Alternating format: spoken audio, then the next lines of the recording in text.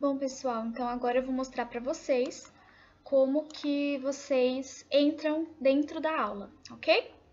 Bom, a, o CNA o, vai enviar para a gente um link para as nossas aulas no dia e horário, e aí a gente vai clicar nesse link para acessar as aulas, certo? A gente vai re ser redirecionado a esse site do Zoom. O que, que vai acontecer? Ele vai pedir para você abrir o aplicativo que já foi instalado, você clica aqui em abrir. Caso você não tenha instalado, ele vai pedir para ser instalado e aí funciona da mesma forma como a gente viu no, no vídeo anterior. Aí pronto, ele abriu aqui para mim, abriu dentro do meu, do meu aplicativo já instalado. Aí agora é só você colocar aqui, Join with Video, e aí ele vai entrar. Aí vai aparecer essa página Please wait, the meeting host will let you in soon. Então, agora o professor vai autorizar a minha entrada.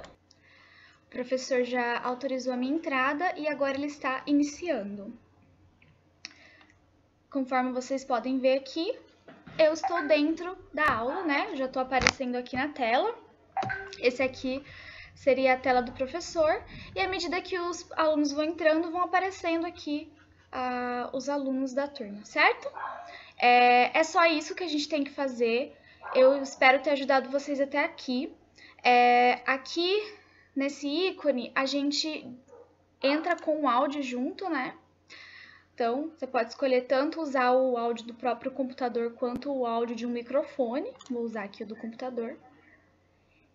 E você autoriza ou muta o seu, é, o seu fone, o seu áudio, certo? É, espero ter ajudado todo mundo até aqui. E muito obrigado, tchau, até a próxima.